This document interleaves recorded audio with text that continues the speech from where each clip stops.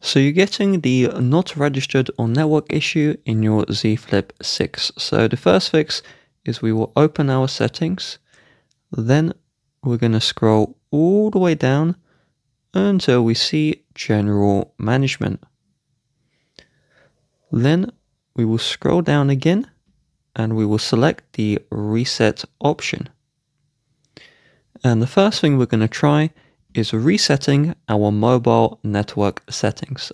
So tap on this one, select reset, enter in your login, and then tap on reset one more time to do the network settings reset.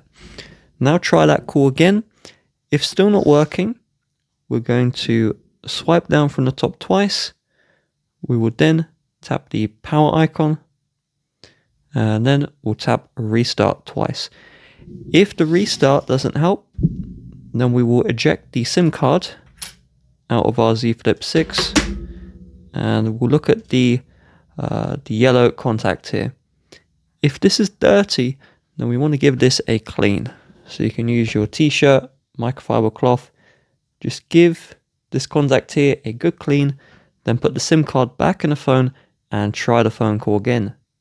If that fails, I would recommend contacting your carrier and getting a new SIM card as the SIM card you're using is damaged.